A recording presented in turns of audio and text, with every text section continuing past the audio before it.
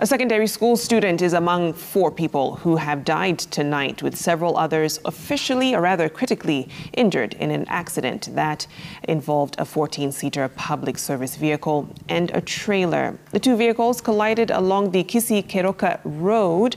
The matatu that had left a Kisii town was trying to avoid ramming a motorcycle rider when it collided with the trailer that was traveling in the opposite direction. The injured have been rushed to St. Catherine uh, Itchuni, uh, rather Mission Hospital in Keroka, uh, with those who succumbed being taken to Keroka uh, Gucha Morgue. The wreckages of the vehicles were towed to Keroka Police Station.